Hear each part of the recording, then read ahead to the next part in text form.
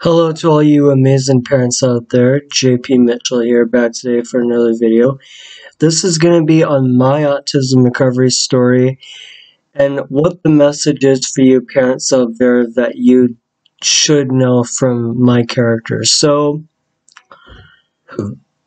excuse me. So, my story officially begins in 2003 2004 when I was approximately three to four, three to four years old and this is where I stopped being in my parents' world and suddenly retreated into my own, which is the world of autism, which is where I had zero language, no eye contact, no communication, no kids play, which is where I couldn't play with other kids.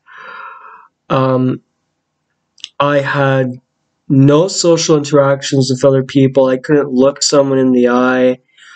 I couldn't have any interactions with anybody. I was bullied relentlessly in school because of, you know, because of me being autistic and being an easy target, as they called it. So, what the therapy was in the very beginning was teach me how to request, how to speak, how to talk, how to communicate.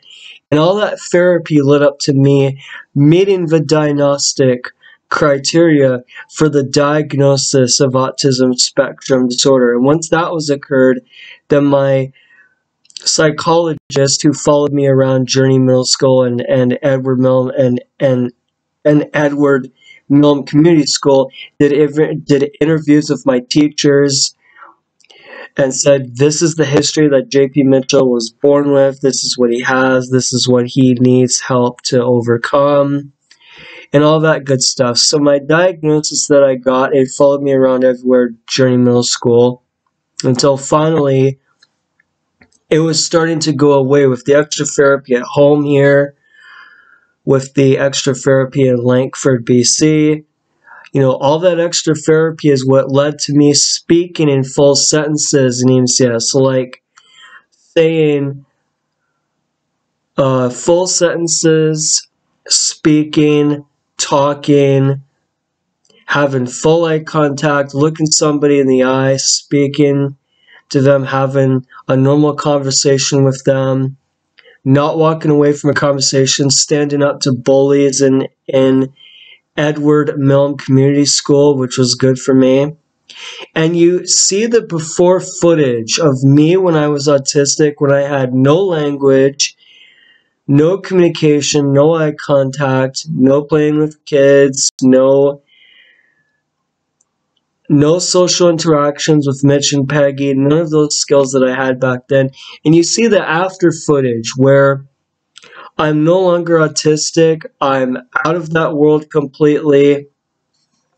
I'm no longer in the world of isolation anymore. I'm no longer in that world where I have the diagnosis of autism spectrum disorder because I no longer met the diagnostic criteria for an autism spectrum disorder when I was at the age of uh, 20 years old.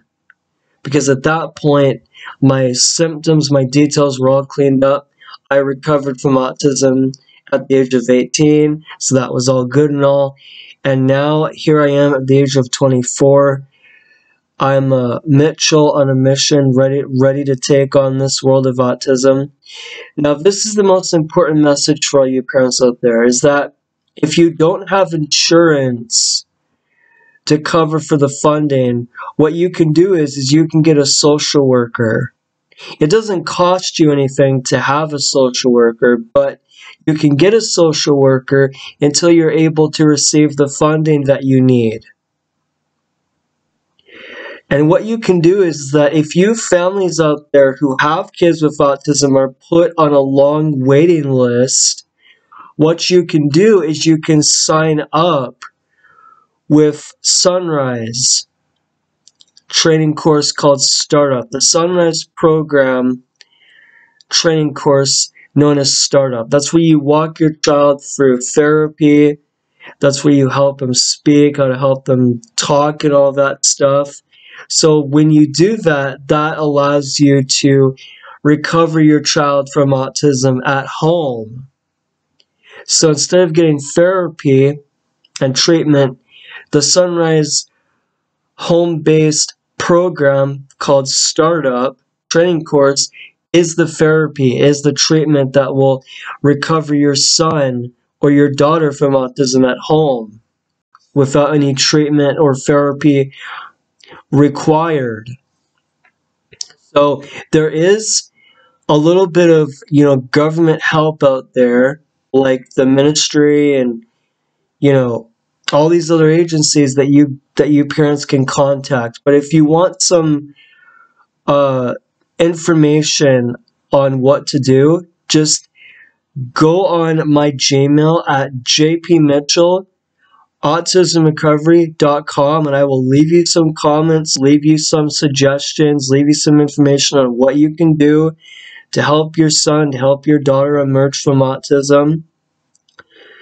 And I will be coming out there into Sooke and into the public to talk with some of you parents to find out what techniques did you guys use? What um, treatments did you use? What diets did you use? What therapy worked for your child to help them emerge from autism? And what are they doing in the world right now?